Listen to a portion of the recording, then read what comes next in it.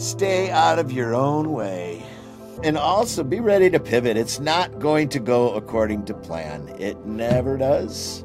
You're problem solving most of the time. To me, that's one of my favorite parts is you're always having to pivot and think on the fly and MacGyver stuff together. And that's just part of the experience. And a lot of people are so plan oriented that it's hard for them to let go of their plan. But a lot of times, Burning Man is going to knock you off script, and that's the time to improvise. And that's one of the magic parts of it, I think.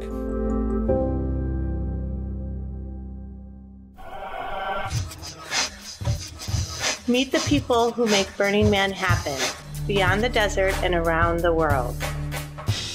The dreamers and doers, the makers, shakers, and innovators, the artists, activists, freaks, and fools.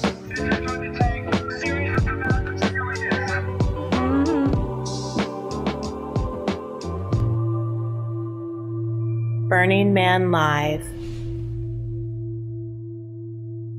Hey, everybody, it is Burning Man Live. I am Stuart Mangrum, and uh, looking out my window, people everywhere are starting to come out of their torpor, out of their lethargy, and start thinking about, hey, what are we doing at Burning Man this year, right? All of those folks who are uh, plotting their course out to the Black Rock Desert for the Black Rock City event are uh, starting to kind of think about how they're going to put their camps together. Now, this is the time of year where here at Burning Man Live, we like to offer what we call some pro tips. Not because we're really smart, but because we've been doing this long enough to have made pretty much every mistake you can possibly imagine. A couple of seasons ago, we had an episode called Pro Tips. It turned into the most downloaded episode of all time for us. People just loved it. Episode 57, if you want to check it out affectionately known around here as the socks episode because, well, because socks. If you know, you know. If you don't know, check it out. Anyway, this time around, since we've already done socks, I thought we'd go into uh, death and dismemberment instead. Yes, I'm talking serious back of the ticket issues. You ever read the back of your ticket, folks?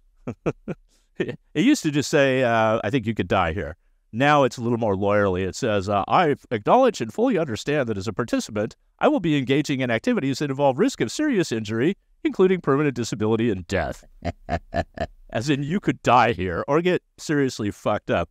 Um, I just want to say in advance, thank you in advance for not dying at Burning Man. Um, because, come on, it's just really inconsiderate to the rest of us. Same thing with getting maimed. I mean, it just it just sucks the fun out of everyone else's burn, right? so, in this episode, we're going to talk about living to burn another day, coming home in one piece, injury free. Hey, maybe you are a rock star. You don't need this information, but I'm going to guess that somebody in your camp might need this information. So, why don't you listen for them? Make them listen to it. You know, put the earbuds in them on the way to the desert so they can figure out uh, how to stay safe as they're heading out. My guest is an expert at not getting killed at Burning Man. he, he, has 20, 28 successful years of not dying, but skating on the edge of that. He is uh, the Black Rock City superintendent. He is the author of the book Built to Burn Tales of the Desert Carnies of Black Rock City. And wait for it, Burning Man Project's first certified OSHA instructor. and for my international listeners who are going, What's an OSHA? That is part of the federal government in the United States of America. It's the Occupational Safety and Health Administration, which covers things like workplace safety. And as we're going to get into this, for at least one week of the year, Black Rock City is definitely a workplace. Anyway, welcome, Tony Coyote Perez. What's up, Tony? Thanks for joining us. Greetings. Hello, hello, hello, hello. well, you know, when I actually got onto the safety team, that was to the great hilarity of the guys who used to work with in the past. They couldn't believe that they had appointed me to be in charge of anything to do with safety because we were we were running on the edge back then quite a lot, and so uh, we were having to rip shot a lot of things together in the most unsafe manner. But uh, we we actually pulled it off, and with surprisingly few injuries. A couple of years ago, we had a burn barrel just this thing that happened where we started talking about near death experiences. We called it the I Should Be Dead series. Uh-huh. And everybody had I Should Be Dead stories. and it went into the wee hours with a, a plastic bottle of whiskey being passed around. It's like the Nine Lives Club. I think about sometimes if I were a cat, and I'm a big cat lover, how many lives would I have left? Yeah, right. Well, we see close calls all the time out there, you know, but uh, Yeah, which is why I want to start with I know you put together an OSHA for everyone kind of a course for all of our theme camp builders, all of our staff members, and I think it's a really important piece of learning that's going to be coming out on Hive here, which is Burning Man's co-learning environment. But um, talk about the three pillars of safety, and the first one is the culture of safety. That that seems unlikely to me. Coming out of what I know, but isn't DPW isn't that a culture of isn't the famous meme safety third? yeah, well, we got it up to safety second and a half. We've actually ratcheted it up a little bit because we really had to start to take a more professional line on things. A culture of safety, when I say that, it's really about uh, a mindset because I think many people that are listening to this podcast will have heard at least someone say along the way, well, that's just the way, that's the Burning Man way. You know, we got to do it this way because that's how we do it at Burning Man. And Burning Man's an unsafe place. And, and we're just all on the edges out here anyway. Right. And so I thought I'd open with a quick story that happened to me when I very first got uh, promoted, as you could say, to the safety team. And we were starting to experience a lot of workman's comp claims, and we wanted to bring an OSHA instructor out. We were starting to get a lot of recognition nationwide and worldwide as a first class event. And we were also being recognized as a, a pretty hardcore construction site that was going on during the building of Burning Man. And so we were get, capturing the attention of people like insurance companies and so on that were uh, saying, So, do you guys got any safety programs out there? And uh, we're going to have to start seeing some OSHA cards. And so we actually brought an OSHA instructor out years ago, and uh, he was fish out of water. He came out going, What the hell's going out here? he was in Gerlach, and Uh, a lot of guys were trying to keep him awake. He was doing a very dry OSHA class, and I think the only time that anybody perked up is when he started getting into the subject of spontaneous combustion. oh, okay. Look, I just perked up. Yeah, Okay, he's combusted. yeah, yeah. That's when people saying, "Wait, how does this happen? How how can I make this happen?" so he left out of there going, "What the hell was that?" And so we went back to the think tank and said, "Well, actually, we need somebody." Within our ranks, that knows our ways and knows how things work out in the desert, to be able to fashion an OSHA class that addresses the specific and very unique hazards and consequences that we have out at Black Rock Desert trying to set up a city in the middle of nowhere in super harsh conditions. And so I went and did the training and became an OSHA trainer. I've been a trainer for about eight years now. I've handed in over 500 cards and it's working. People are changing their culture of safety. So the class that I have is called Culture of Safety because I realized quickly that people weren't really going to retain information like a, a handrail has to be 42 inches high. That's not something that somebody's going to remember. What they are going to remember is that if you're having a meltdown, get the hell off the ladder. Or if you see somebody acting in a really irresponsible way, it's up to everyone to watch out for each other's back and to actually change the way you think. Right. One of the things that I've really noticed in Burning Man in general is that there tends to be a hero factor that comes when we when it's build week. Everybody's coming out. They've just traveled across the country. They have huge plans. They've changed their plans. One of the most common conversations that happens in camps is what they're going to do next year and how they're going to improve their camps. And so they work on it all winter long and they collaborate and they come up with greater ideas, bigger art pieces. Uh, they really have grandiose ideas. So when they hit the playa, a lot of times they're exhausted. They've been running for a long time. They've, they've just driven in from, I don't know, across the country, or they're on, on a high stress thing. That's where the injuries tend to happen, where somebody says, I'm fine, I'm fine, but you've been up for two days. You should sleep before you start putting stuff together. No, I'm fine, I'm fine. This is how this is the Burning Man way. We really had a, a serious problem with that in the Department of Public Works, where people were just doing the hero factor. They've been up all night partying. Well, I got to get out and start swinging a hammer on a 10 foot ladder. So we wanted to start changing the way you think about it, where it's not, you're not wimping out if, if you sleep. you know, it's, it's okay to, Really? to yeah, it's, it's, it's okay to take your time when you get there, you know? I heard that Coyote, he, he went out and spent all day in the hot sun hammering tea sticks after being up on acid for several days. I read that in a book somewhere. Yeah, and how did that work out?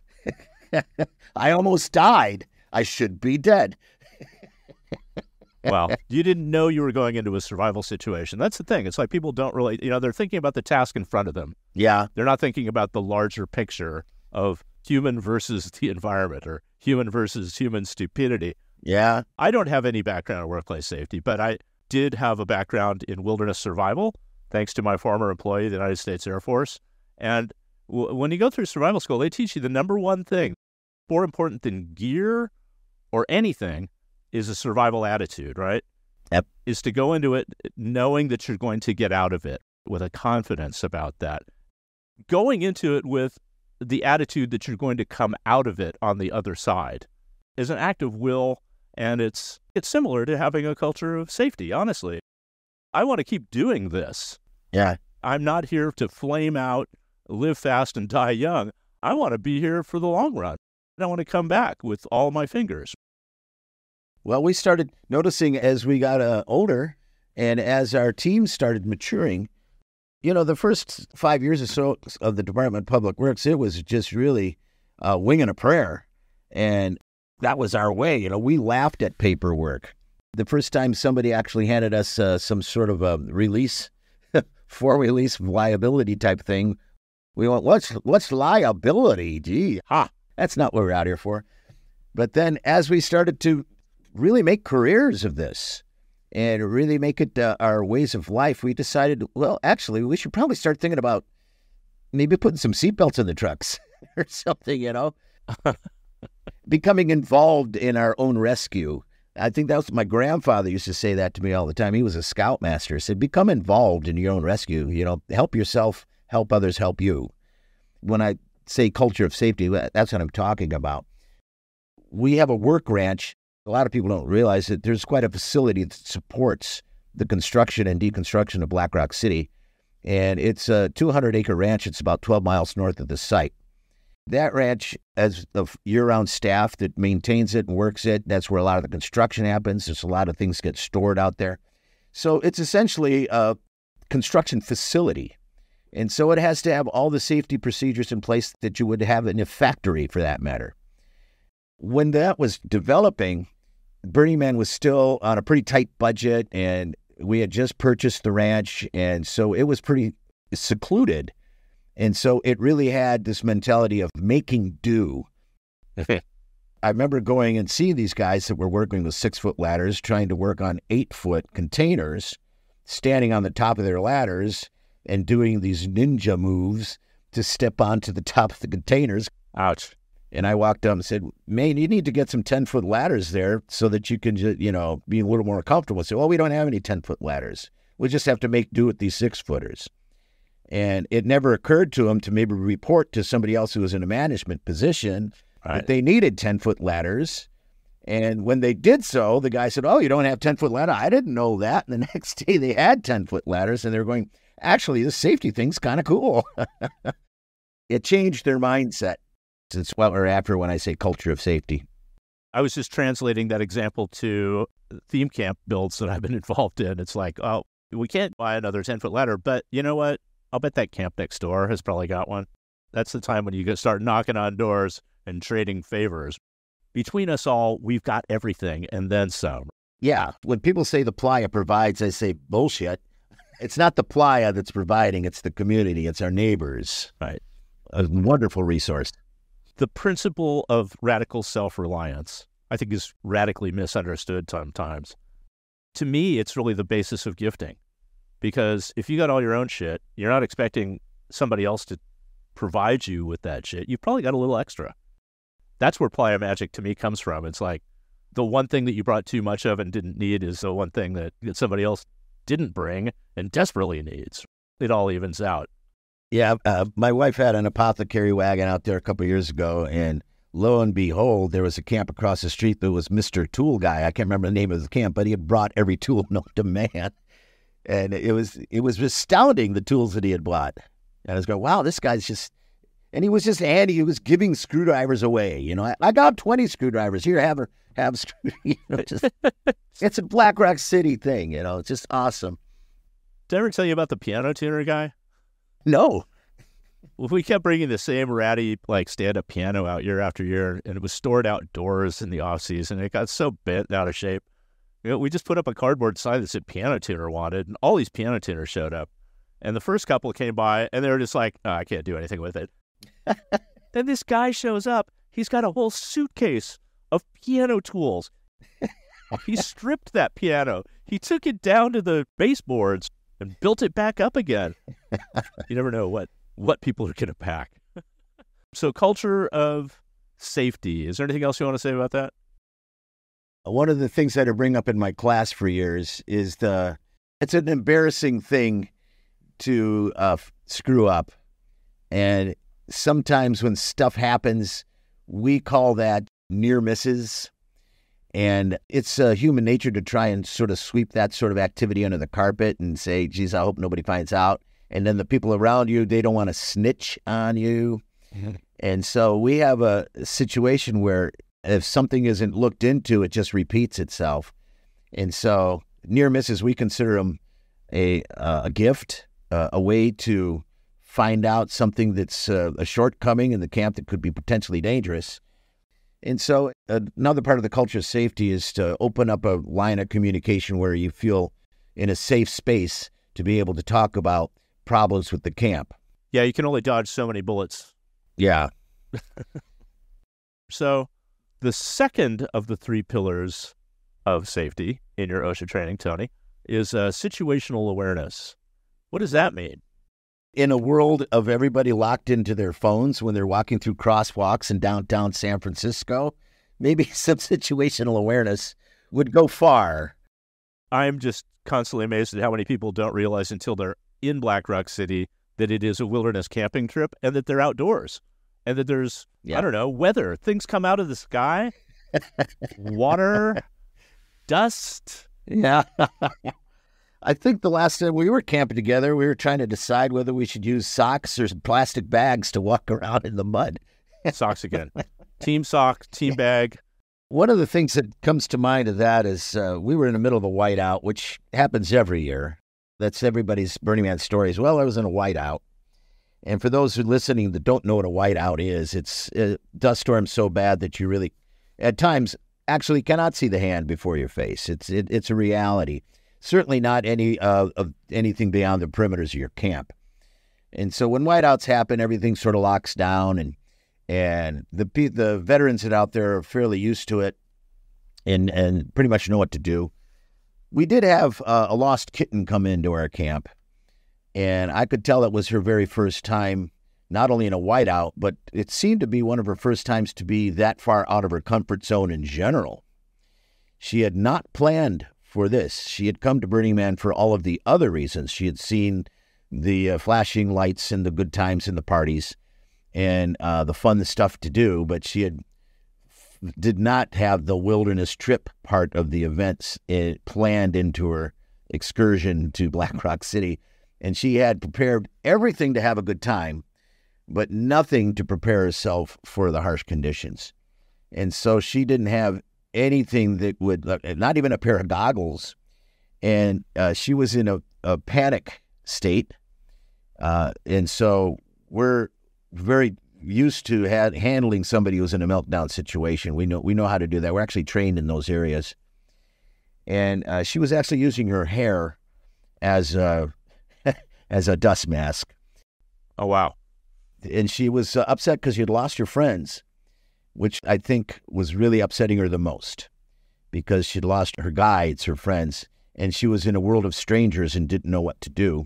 And she was coming into a stranger's camp. She wasn't even sure to be comfortable to go into someone else's camp. Oh, wow. we were bringing her in and saying, "Come on in and sit down on this couch. Here's a dust mask. Here's some goggles, and this is your camp for the next three or four hours. You're not going anywhere. And this is box wine. it's it's how it's it's how you you're doing a, an essential service. I mean, yeah, people just don't know how to react, right? And that's terrifying, right? First time you're out there, you can't see shit, you can't find your friends, you can't breathe. Yeah. You don't know where your camp is, you don't know who's who's who or what's what. She was very very much terrified. I also said that we've been through this. I'm in my 26th year. I've been through countless whiteouts. And all you have to do is sit tight, and eventually it subsides, and then you'll reunite with your friends and go back to Burning Man. This calmed her down. What struck me is that she really had not been informed of any of this stuff before she came out to the desert. We have a survival guide that we issue with tickets, but I think that you're not that ready to pick up a, a manual and read it as much as you're ready just to grab bling and put it on and put your blinky stuff on and go out to the desert. So that's one of the things that we're always working on is you need to think about it. it Burning Man takes a little practice. Yeah, and that survival guide is kind of important, people. If you haven't, that's why we call it survival guide and not just like a nice to know guide. Uh, it really does date back to those early, early days out there on Playa when uh, the back of the ticket was very pointed. So, whiteout, shelter in place. How about high winds? I mean, this is something that people yeah seem to be in denial about all the time, right? Until they get to the whiteout, and that that creates some serious safety problems. I'm talking about the flying sheet of plywood that can decapitate someone, right? So, if the winds start coming up while you're in the middle of build or strike, what should you do? Well, you uh, would have been wise to bring straps, okay, and uh, rope and things to tie it down. Wise to bring stakes that you can stake things down and also uh, know the signs of when winds are going to pick up. The playa has hints and ways to let you know that these things are going to happen. Rely on the, the expertise of your neighbors. There's a lot of experts all around you. There's people. I marvel at some of these camps that are they're in their 20th year out there and they're just good burners. Listen to your neighbors. The pro tips are all around you. Again, back to situational awareness. It's just being on top of it, just looking beyond your windshield, looking beyond your camp, just being more immersed in the world that you now find yourself in and be aware of your situations and aware of everything around you. It's, it's a muscle to be aware of your surroundings. It's something that you have to visit a lot. I got that from being 25, 30 years on construction sites where if you're not aware of your surroundings, you're going to walk into a saw or you're, you're going to walk into this, a drop zone and get your head crushed. It's just a practice. And especially these days, we really have kind of tunneled into uh, uh, devices and screens. When you're sitting at a restaurant, I'll see a table of people at a restaurant. None of them are talking, they're all on their phones. Maybe they're talking to each other on the phones. I don't know. But they're not up and looking around. Burning Man is the best place to start practicing that. It's true. In the restaurant, you're probably not going to have a flying sheet of plywood uh, guillotine somebody's head off. But uh, I mean, weather is one thing, but honestly, it's like for build week, and for newcomers, that's the week before the gate opens when everybody's putting up their art projects, their theme camps, their mutant vehicles, all that stuff is happening. It's a gigantic construction site, and we don't really treat it that way, right? I'm surprised nobody has put a big banner outside to say you have to wear a hard hat and steel toed shoes the whole time you're inside here until the gate opens. Well, that's where the culture of safety comes in, where we all have to watch each other. You know, you're wearing a flowing scarf while you're winning a chop saw. Maybe you should go over tap them on the shoulder between cuts and say, maybe you hmm. shouldn't do that. Isadora Duncan comes to mind. Definitely, the elements are very key. Not only is it a construction site, it's an outdoor construction site. And the wind changes everything especially the shade structures. We every year we see shade structures rolling down the playa that had very insufficient stakes holding it down. Like I said, it takes it takes some practice to to learn the tricks of Burning Man. we all know the parachutes don't work anymore. They they they came and went. But we had to try them multiple times to be convinced. so hopefully these lessons don't come with lots of trips to the uh, medical facilities. But just so you know, the most common injuries that happen at Burning Man, what are they? I think the first one is still heat exhaustion, right? People don't hydrate enough and they get overheated. The heat exhaustion, they succumb to the elements, and there's a lot of reasons for that. They're just not in the practice of drinking water, or they're not a practice of hydrating. And also, uh, quite frankly, they're on vacation mode in their mind. Right. They've left their job sites. You know, they they took the time off of work, and the first thing they did was party. Nothing dehydrates you like more than partying. And, and uh, believe me, if you read the first scene of the book I wrote, that's that was my downfall. I'd been up for two days uh, on artificial stimulants, and I came out there, and we didn't even bring water. That's how I first came to Burning Man. Water's for babies. So heat exhaustion, I think, is, is still number one last time I checked. Yeah. We should get the emergency services people on. Strains and sprains wrench a lot of joints, right? Like I said, they've been sitting in driver's seat for, I don't know, 24 hours. People don't really stretch out or do anything, this sort of thing before they just jump up and start offloading a truck. Yeah. And a lot of times, people that are building stuff, they do have office jobs and jobs that don't require a lot of physical activity. And then they get out to Black Rock City and, and uh, they want to work. Hard work is a sexy thing. Everybody wants to be have their hands in. They don't want to be the loafer. and so the strains and back strains is one of the highest injury things we have out there. The other ones are cuts and bruises. So There's another very common one. We actually call it stake bite. Oh, I think they technically call that a soft tissue injury, but yeah, stake bite. Yeah. Oh, how do we avoid that? Situational awareness. Don't step on rebar. Yeah, and Yeah. put a tennis ball on the top of it or some way to mark it. I love that. Or a plastic bottle or something. Yeah. Or a stuffed animal. Something, please. And stake bites usually happen at night Yep. when you can't see. Tent guy lines are just accidents waiting to happen too. I've seen so many people trip over those, get tangled up in them, whatever. You just put a little flag on it.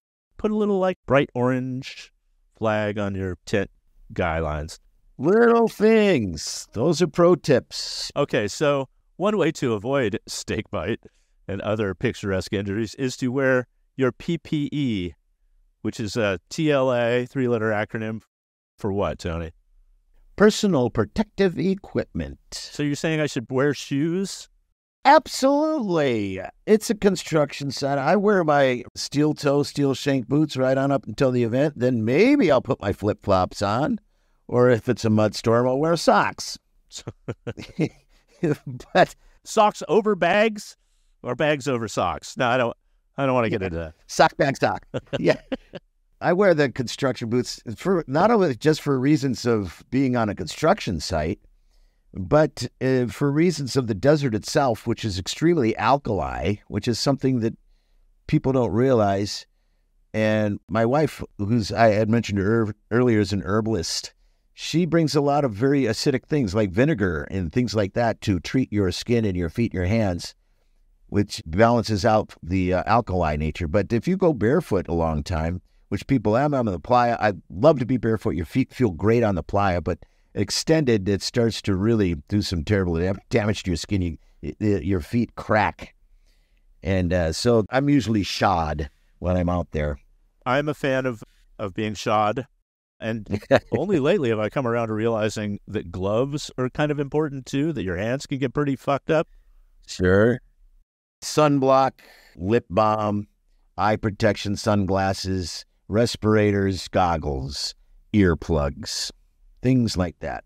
That's all in the survival guide. It's all in the survival what about guide. pants, though? Pants? What about pants, Tony? Let's talk about pants. I wear them. they seem to be optional. They do, Uh, but we know at least one horrifying story of a construction site accident. Uh, would you like to tell it? I wouldn't like to tell it, but I think we probably should. Just as a cautionary Yeah. tale, once upon a time, kiddies, there was a uh, a fellow who wore steel-toed boots, who uh, wore gloves, who was being very safe, but his lack of pants resulted in a, a, a tragic meeting of his penis piercing and a speed lacer on one of his boots, and he ripped out his Prince Albert and had to be rushed to Reno for hours of reconstructive surgery. So I'm just saying, you know, when in doubt, Yeah. pants are okay, right? Even short pants, even hot hot pants, right? Yeah. Just something It's where I I carry tools. in your pants, I, I need. in your hot pants. I suppose I could wear the tool belt without the pants. You heard it here first. Tony carries his tools in his hot pants. Okay. Hard hats, you know, never a terrible idea. Well, that's been a, an ongoing struggle on our side. So I, I think I won the battle with hard hats. really? And one of the ways we did it is we provided them. Yeah. It's just a good thing to have. And as a matter of fact, I, I wear a cowboy hat out there for years. I still wear a cowboy hat out there. But what the hard hat is actually cooler. It sits up off of your head. And there's a breeze that blows through it. And so hard hats are actually more comfortable than my cowboy hat. So I just wear my hard hat all the time. Right. It's got that webbing that elevates it off of it. I love it. I love it for that. And it's also a great canvas for all my stickers. Yeah, yes. And people really equate safety equipment with life saving, but it's not necessarily life saving, it's just injury saving. Right. We have a, a shade crew out there that does a lot of hammering, and they're all hammering up on eight foot ladders. Now, dropping a hammer from eight feet isn't going to kill you, but do you really need 14 stitches in your head?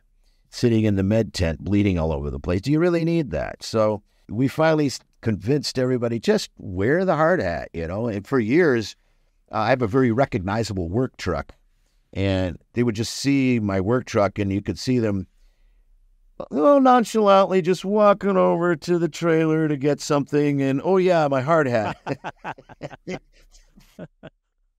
Uh oh, Tony's Tony's looking. well, well, my name was Coyote for years. and then I became an OSHA instructor, so I became OSHA Tony. OSHA. which very quickly, like when the first half hour became, oh shit, Tony. As a result, they were in their hard hats and injuries went down because the hammer, hammering all day in the sun, your hand gets sweaty and that hammer's going to fly out sooner or later and come ringing down. I'm all for fewer brain injuries. They are a crack operation. Watching the shade crew work is pretty amazing. They really are amazing. They're up before everyone else and they just, I, I don't know how many miles, square miles of shade that they put up. They just hammer it out. Yeah. So, what about power tools? I've had some interesting experiences in my camp with people who uh, have never wielded any sort of a power tool, and even a cordless driver can be potentially dangerous in their hands. Well, the operative word is power. Right? These things, they're they're no joke. Power tool injuries happen super fast, where one minute you have a finger, the next minute you don't have a finger. Just that quick. and I think the biggest issue with power tools is that they're cool. They're big and they're they're noisy and they do amazing things. And but you really need to have some know-how. As I said earlier in this podcast, we have a ranch and there's a lot of uh, volunteerism that happens out there. You'll have a team that comes out. Can we use your ranch because we want to build a lot of kiosks for the airport, for instance? And so a lot of people want to put their hand up. I, I want to go out to the middle of nowhere ranch and work on some kiosks and and uh, you know stay in a tent and hang out by a, by a burn barrel at night and tell stories. That sounds fantastic. And so they go out there and we say, "So, do you know how to run a skill saw?" Sure, I, I know how to do that. and they lie to you, and you see them using the skill saw. And they don't. You, obviously, it's the first time they ever had one in their hands. The skill saw is an extremely dangerous instrument. Again, we re- rely on the people who know to say, "Oh, hold on, hold on. This is how you do. Let the blade do the cutting. You know, you don't have to push it. You know, all these different tips and things on how to properly run a tool." Even an impact driver can be a serious injury in the med tent if you not know what you're doing. And and it takes power tools to build Black Rock City. They're everywhere. I've actually rolled up on art installations where I saw all of them standing in a circle with all these brand new power tools, and they they got the owner's manual, and they're all reading the owner's manual, manual, and going, "That's not a good sign." So oh, usually, what we'll do is uh, you know, I I'll take my time. It's it's never I never have too much of a schedule. I can't stop and help somebody else along the way, which really gets back to the thing of uh, everybody seems to be in such a hurry to build Black Rock City, but you don't need to be. There's you can you can take your time. Is when you first get there, you can just take a breather and be present on the playa and enjoy the starry night for a moment before even go visit the man before you even start building your camp. Just get into the pace of it. You don't have to be in a rush. You really don't. So that's a, a good segue into the third pillar of safety, which is uh, self care. What do you want to say about that? Self care. Well, you know, you put the oxygen mask on yourself before you put it on your family. Self care is a huge part of it, especially in this type of environment, and especially when you're out of your routine. You're not eating the same foods, you're not sleeping at the same times, and you're definitely partying more than you do. Not everybody goes out to Burning Man to party or do all these things, but uh, it happens and it's happening all around you and it affects you. And so it is important to be able to sleep and to be able to eat sensibly and to remind yourself that this is a marathon. Burning Man isn't just a couple of nights for people. Some our crews are out there for 12 weeks. Some of the theme camps are out there for at least two, three weeks. And they have to pace themselves out a little bit. One of the hardest parts of Black Rock City is trying to figure out the best times to sleep. Right. Because there's always something going on. You know, at any given moment, you're going to miss out on some of it. But the self care is more important it's because if you if you just try and do this, you know, power on through for three or four days, you're not going to have as good a time because you're going to feel like crap. you got to take care of the body that you're running around in, and then you just generally will have a better time. It's an interesting thing. Uh, my wife and I have twin boys, and they just turned 16, and they've been to every Burning Man since they were four months old. And uh, when my wife and I were single and dating around, we, we had a very different type of Burning Man experience than when we became parents. It's kind of a shocker to, to now be a parent and still be in Black Rock City. But we found out that you could have as good a time. Yeah. And as a result, I was actually having a better time in a lot of ways because I felt healthier. Because uh, I was keeping more of a schedule and actually finding times to sleep and taking care of young children it's a hard one to deal with because there's so much going on. It's such an attractive place, and there's uh, so many things happening all around you at all hours. But you need to find time just to chill out. I say bring back the siestas. Siestas is the way to go. That hot part of the afternoon, I see people swinging around in hammocks and hydrating and eating good food. Yeah. Cat naps, cat naps and healthy snacks. Cat naps are sexy for sure. You know, another thing that there are a couple of things that I want to say about that. One of them is that when we get into it, and it can be cumulative, right?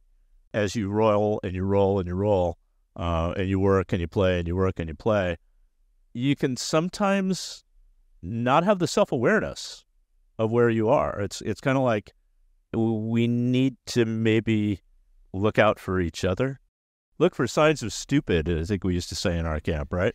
yeah, checking for signs of stupid. They eat a pickle and take a nap. That was the other one. Sometimes you have to give a friend that advice, and and as a friend, you have to be open to it, right? Yes. As soon as you start like having a baby fit about it, it's like, no, I'm fine. I can do this. I got to do this. The camp's not going to build itself. It's not going to strike itself. Ah! You're doomed, right? that is the time to have a pickle and a nap. Get your electrolytes up, get a few winks because yeah, it's uh, it's all going to be there when you wake up. Stuart, you know what a ski shot is, I'm sure. You know what a ski shot is? Like a ski, a snow ski with a bunch of shot glasses glued to it. It's a communal drinking thing. Yeah, and everybody has to cooperate. They all have to cooperate and drink the shot at the same time. It's it's it's a lot of fun. I think it was Abby. She had a ski shot in her at her bar, and every now and again, she'd set up the ski shot, and everybody, okay, let's go to do a ski shot again. And she'd fill all the shot glasses with water. And so everybody's bracing themselves for another shot of tequila. and then we'd all do the ski shot and go, hey, that was water. and you go, you know what? Actually, that was pretty good. Can I have some more of that, please? and it was just her way of reminding people who are in the depths of having a good time drinking with their friends that that is the time to be drinking water, but you forget to do that, you know? And so it's up to the people around you to, hey, drink some water. Hey, you, drink some water. Oh, oh yeah, yeah, I probably should do that. Yeah. Adam's Ale, I think, is one name for water. Uh, uh, let's call it that and not quitter juice. yeah, there's the culture of safety. You've got to change the change the narrative around it. Right. It's not wimping out. Quitter juice is now Adam's Ale. yeah. Quitter juice. But it does kind of stress our relationships. You don't want to be that guy tell somebody that they're out of their head, but you got to, right? You can't just walk past it. If you see somebody who's in danger of hurting themselves or others, you got to say something, right? Yeah. Well, that was the big quote that we had. Uh, I can't remember where I got it, but it's the actions that you walked past are the actions you condone.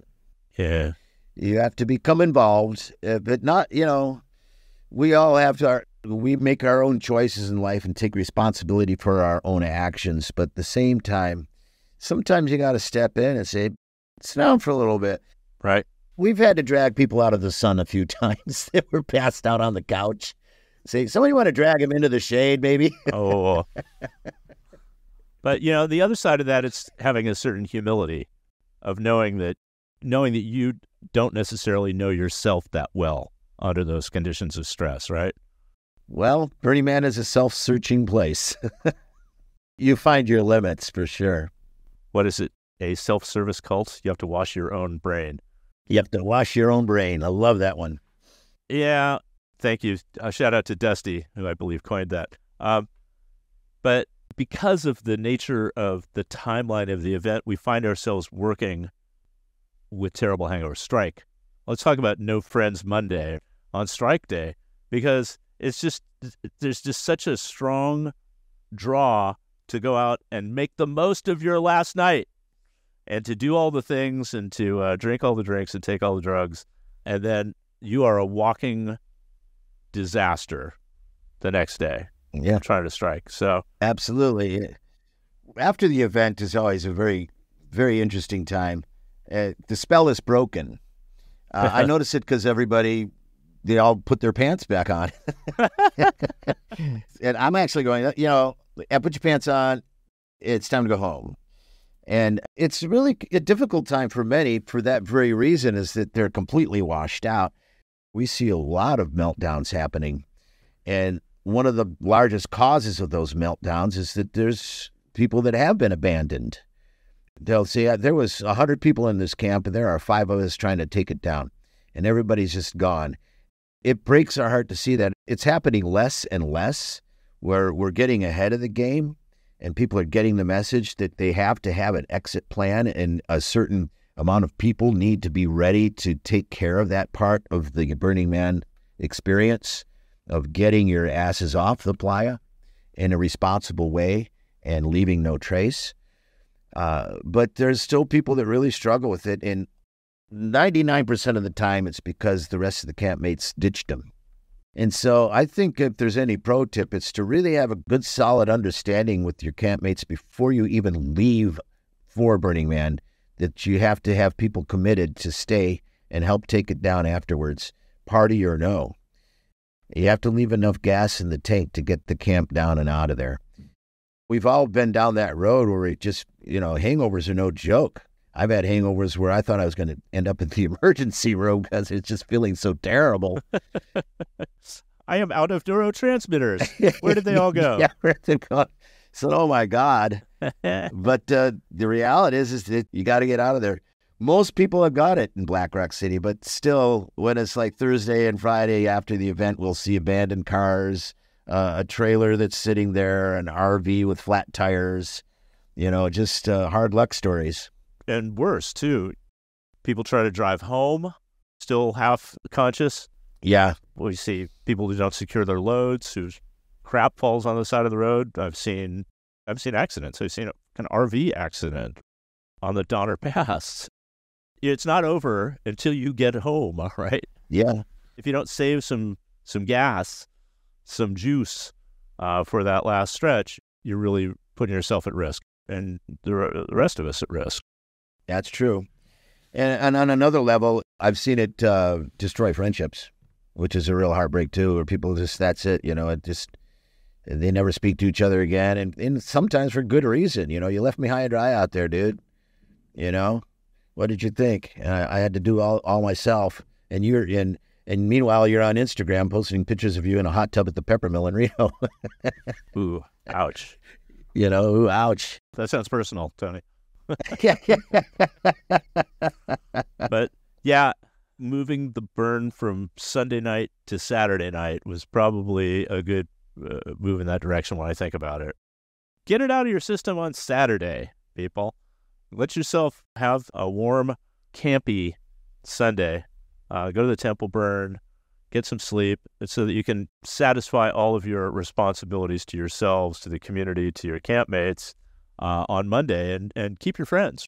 No friends Monday. It's just a tragedy. It shouldn't be that way.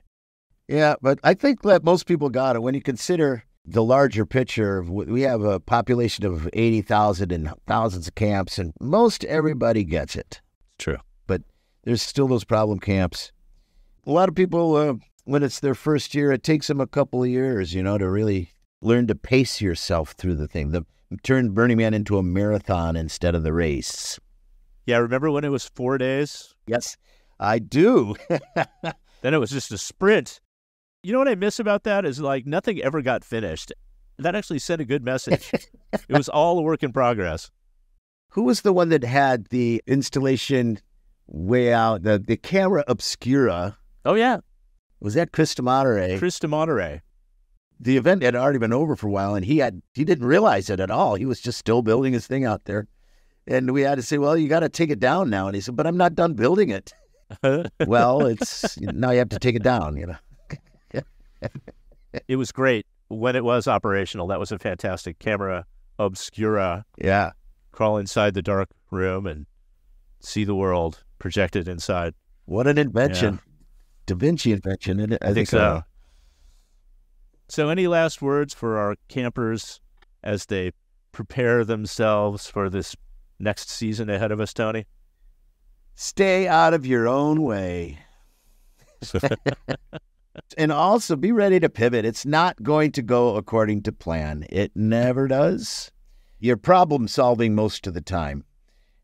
That's one of my favorite parts is you're always having to pivot and think on the fly and MacGyver stuff together. That's just part of the experience.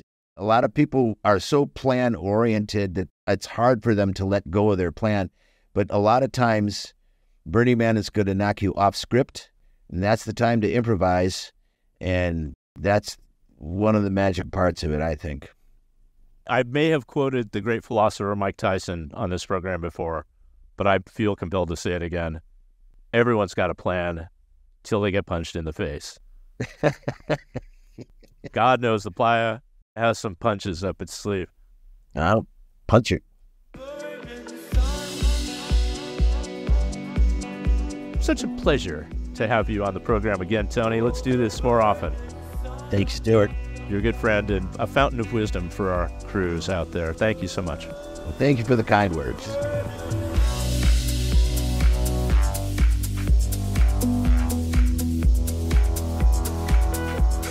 You're not going anywhere. And this is box wine. It's Franzia wine. You, it's, it's, how, it's, it's how you. Burning Man Project does not endorse any particular brand of box wine. It's- Brand preferences of guests are strictly their own and not endorsed Oh, by Burning Man Project. I'm sorry, I didn't mean to mention. No, it's okay.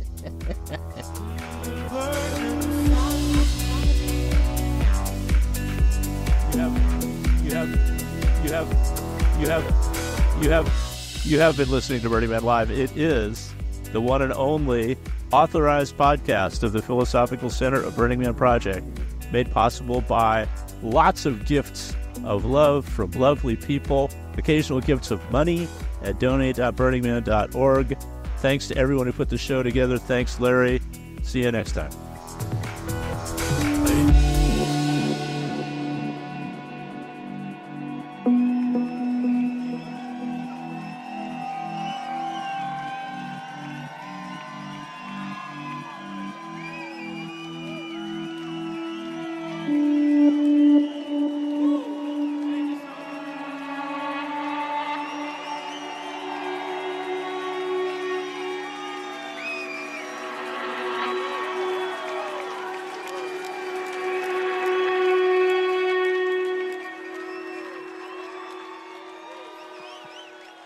Thank you so much, guys. I hope you have a wonderful burn.